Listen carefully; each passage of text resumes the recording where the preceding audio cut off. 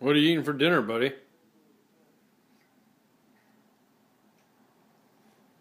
Hmm?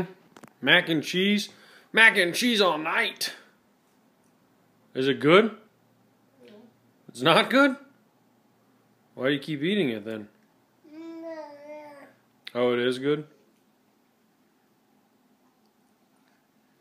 Why'd you switch to your right hand? I thought you were a lefty. Oh, really? I thought you were going to be a lefty. Be a left-handed reliever. Oh, oh you're ambidextrous? Oh. Yum! Yum!